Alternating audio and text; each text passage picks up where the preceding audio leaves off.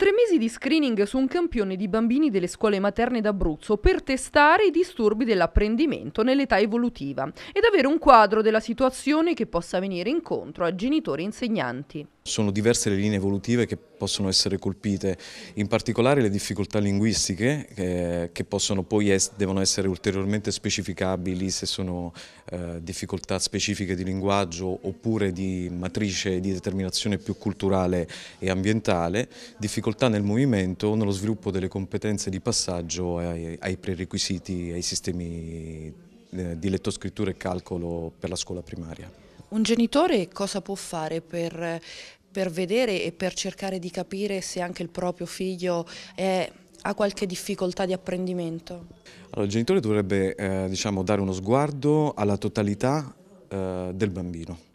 Cioè, la prima considerazione da fare è che non deve solamente guardare all'intelligenza del bambino,